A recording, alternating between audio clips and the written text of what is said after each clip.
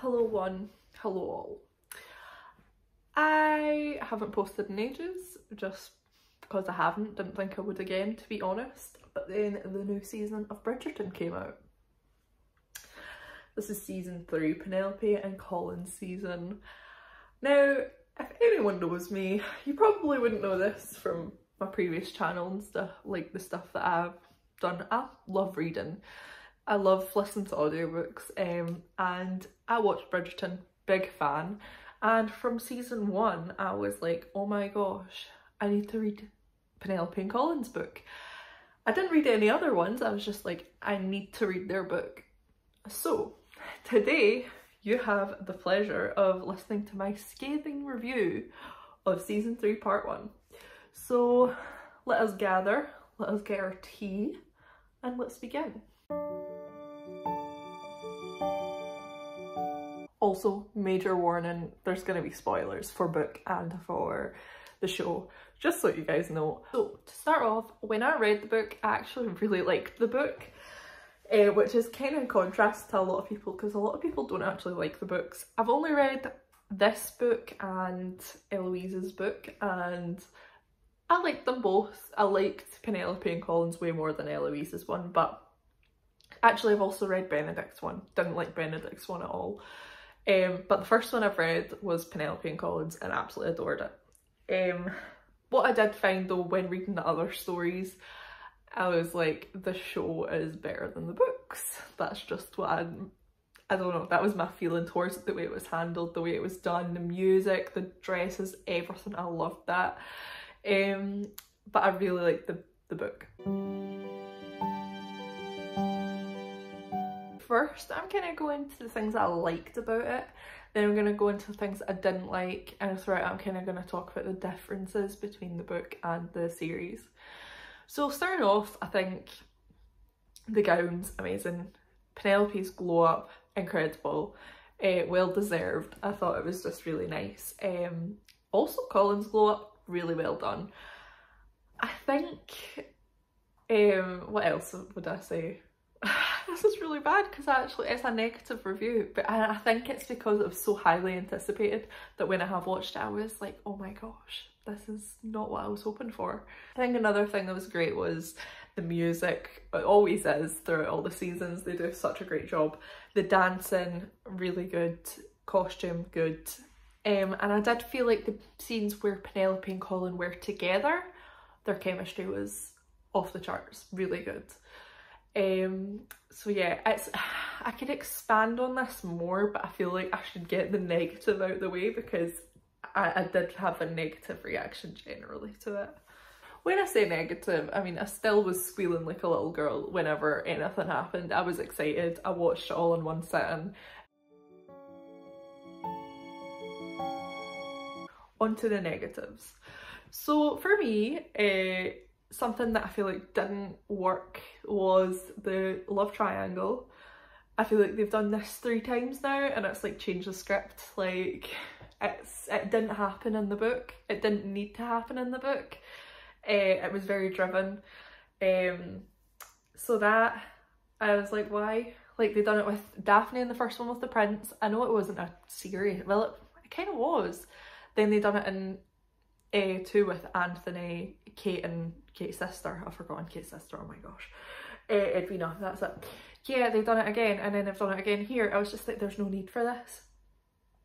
Something else was I felt it was very rushed. I felt like it, a lot of it was very rushed um, and that they had lots of fluff in it.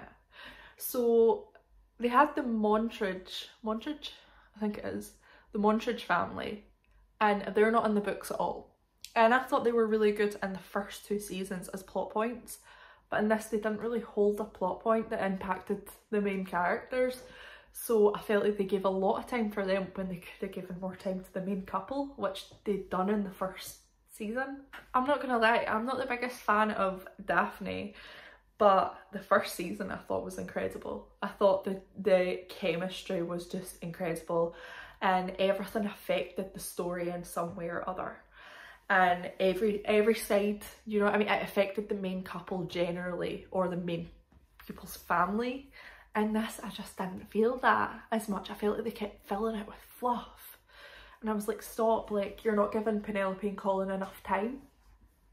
In saying that, as I said before, their chemistry when they were together was incredible. But I felt Colin's character was lacking a little bit. I felt that he was very lost and obviously in, in the books he just came back as travels and he is lost because he doesn't know what to do. He's kind of running away. When he goes away, he wants to come back and when he comes back he wants to go away because he just doesn't know what he's wanting to do with his life. Um, and that's kind of made clear in the book that he just feels like a loose end. But I don't feel like they've really they've really expanded on that very much, which I feel like they should have. Another thing was that the diary, like her, so there were certain scenes that were in the book that were in the show. I think there was three scenes. So the three scenes that were in the book and show were the him cutting his hand, her her reading his diary and then him cutting his hand, her asking him to kiss her, and uh, the carriage scene. So they those three they are quite big moments, but each one to me in the show felt so much more rushed than in the book. And obviously it's going to have different speeds and timings, but I just think like it was, I don't think it was handled as well as it was in the book, which is weird considering for everything else, generally the show has been better than the books, which is a weird one. I think that obviously I've went into spoiler territory already, but I feel like, the, as I said, Colin's character was just a bit all over the place. Um, in the books, it, there's a spoiler, as I said, is basically he comes back from his travels and he's sort of, as I said, kind of lost looking for his place. He sees Penelope again and they kind of rekindle their friendship. And from there, like the, the cut in her hand scene, she's she doesn't fall out with Eloise in the books. Um, and basically so she was over for tea eloise wasn't home and she goes up and she reads his journal by accident and they have a big falling out. And then they end up resolving it quite quickly because he cuts his hand just like in the show. But from there that i felt like it could have elevated the tension in the, the, the show. Like whereas i don't feel like it was elevated enough. Like there wasn't enough moments there wasn't enough i don't know No, I just think that like they were giving me breadcrumbs. They were giving me the bare minimum and I wanted more. I wanted so much more. Um, I just think, I think Luke and Nicole are both amazing actors and actresses. They're both amazing at what they do. And I just felt like it was, I don't know, the side stories were just too much as well. Like there's too many and they weren't relating back like it was just getting too much. So like, for instance, Eloise and Penelope's friendship, like I feel like that should have been resolved quite quickly. Um, the Cressida friendship with Eloise, that's not a thing in the book. And yeah, it humanises her, but I don't know why they've done it because they've made her a villain in the past two seasons, so why now change? Like it's just it's a it's a bizarre choice for me, like personally. Um another thing is that um I said the Monsters, their family, don't exist in the book. Were good for the first two seasons. I do not see the point now. Another thing is Francesca. I was really looking forward to Francesca. I've not read her story, but I was looking forward to like another Bridgerton kind of coming into the spotlight. Oh my gosh, I could not give two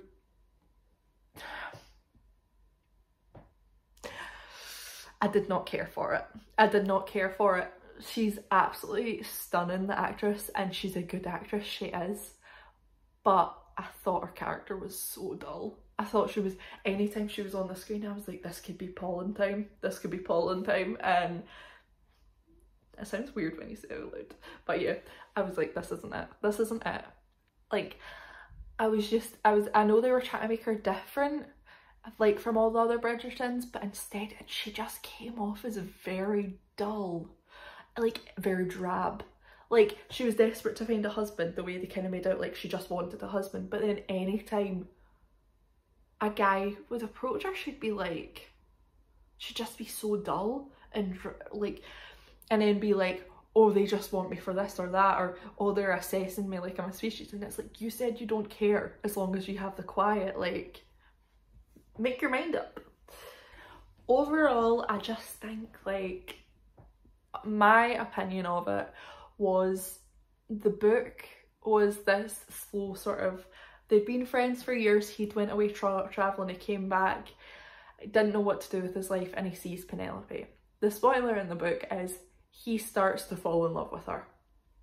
After she sees his journal, he starts to fall in love with her because she asks him to kiss her afterwards. And then after that, they kind of still see each other and become friend, even friendlier. And uh, from there, he's interested. He's got a piqued interest, but he follows her to where she goes and puts her Whistledown stuff and he finds out she's Whistledown. That is the big moment of tension in the book. That is the, the problem in the book is that he hates the fact that she's Whistledown and he hates Whistledown. Uh, it's their biggest problem and he's trying to hide it from everyone. Obviously it's hidden already but he's like if I found out then who else is going to find out? Um, so that's kind of the point of tension in it but it's also the fact that he's jealous of her because he has these journals and she's read them and said they're really good but he's jealous of the fact that she's got a legacy left behind uh, and he's not got anything. Like he's not known for anything other than charming. So I liked that story point. I thought it was different. It was quite unique. It was nice they've not done that in this. They've just st stuck to this same same sort of stagnant storyline which is a love triangle. And then he realizes based on seeing her with somebody else like no why why? Like why do you need to do that? I'm sorry guys. This is a long video but i watched this all last night. And i went to bed and you know i was like i liked it but i also didn't like it at all like i was like how how does that make sense but it does it does because it's like it's bridgerton and i love bridgerton but I think because I loved the book so much and because I loved, I thought even though it was a one-sided love, they had great chemistry all throughout the show, that it just didn't meet the standard. Another thing, right, this might be petty, another thing. See Make and Colin have just these threesomes, like left, right and centre. They had tried to have him, he had one once and then another one another time and I was just like, it's like, why? Because in the book, Colin's not a rake. He's not. He's, it says when he's abroad, obviously he slept about when he's abroad, but like, it's kind of clear that Benedict is and Anthony kind of dabbled as well, I'm pretty sure. I don't know in the books, but in the series, yeah. But I don't know why they've done it because it's meant to be that Colin comes back and he just doesn't know his place, but it's like he's kind of over that. Um, and he doesn't know what he's looking for, but it doesn't talk about him sleeping around. And it's like, why are you adding that? Like, it's just like I think why it frustrated me is because it it typecasts all three of these guys, and it, it makes like how realistic is it for a guy who goes and sleeps about to just suddenly change like that overnight? Like, I'm sorry, it doesn't. It takes like he's literally started his interest in Penelope and he goes to prostitutes. Like it, it's just the fact that it's that. Maybe that sounds like I'm being hyper judgmental, but it's done it several times throughout the seasons and it's like give me something new based on his character. Because his character was quite green in the old ones and it's meant to be that he's charming now and he's changed but like having these like threesomes when he's interested in her it just I know the second one he kind of just sits and watches but it's like you didn't need to add it. Like you could hint at the fact of it and I know obviously they want to add this kind of they want to add smart and stuff like that because I mean that's we love steam in it but I was like I, I just found it unlikable. I was like, like maybe at the, at the very beginning, yeah, I was, yeah, but I was like, why? Why are all these guys typecasted the same way? Like, I know maybe, maybe that sounds hyper judgmental of me, like I said, but I do think it's very unrealistic. All three guys liked sleeping around before and it took one woman just to like completely turn them around. And it can happen in real life, yes, but three times in this like same sort of no, like no. Like, I don't know, I didn't see it as glamorous, I just saw it as oh, frustrating. Don't know if I said this at the start, but I'll say it now. Something else that I think could leave, like, that kind of it hasn't worked in their favour is splitting it into two parts. Like, of course, we're all to watch the second part, but as of right now, it feels so rushed. Like from the start to the carriage scene, like it just felt like Colin was like, I don't know, it felt all over the place. I felt rushed. I felt, I don't know, I, there was a slow sort of build up with all these couples where they end up like, it is a very slow build up, but with this it feels like, oh well they've got this past so it'll just jump into it. And it's like no because it's been a one one-sided love for years. You need to let it build a little bit with his side. And it feels like it wasn't. It felt like it was that kiss that kiss he had a wet dream and then it was like boom i need to tell her. And it's like no what what they need more moments they need more moments as i said breadcrumbs people breadcrumbs i was getting breadcrumbs and no that's not to say when i got those breadcrumbs i was squealing i was excited i was you know like ah, but there wasn't enough I wanted the whole loaf, but they weren't given. They weren't given. One more thing before I go. It's back to the Fran Francesca thing. I wish they had stopped doing this to the Queen. Like, just let the Queen, like, let her win once. Like, the fact, like, Lady Whistledown, like, daunted her and then she picked somebody for Francesca and Francesca's already like no because she wants somebody who's quiet it's just like I'm like it's just frustrating like it's like I'll marry anyone then the queen picks someone for her and she's like oh I actually like this guy and it's like dude dude you said you wanted just anyone you didn't care about love Violet's been telling you just try and find a love match and he, she's like no I just want a husband and then you get picked a husband and then you're like actually I want a love match it's like make up your mind sorry guys just to reevaluate. It wasn't the worst, but it wasn't my favourite season despite being my favourite couple. I'll, I'll watch the next part and I'm looking forward to it, but I'm also like a bit disappointed to be honest. I, I might sound really scathing in my review, but it's, it's, it is what it is. And I know there's people that absolutely love it. And please tell me your opinion in the comments because these people done a great job. The show is amazingly produced. It's just great. But the storyline for this season just feels a bit off to me. It doesn't feel as strong as I was hoping. And that's just my personal view on it. But tell me if you loved it. Tell me if you hated it. Um, yeah, just tell me in the comments. Uh, thanks for watching everyone and thank you for sharing a cup of tea with me. Uh, and I will see you maybe next time, maybe not. I might do a part two for the second part of the season, but yeah, I will see you soon.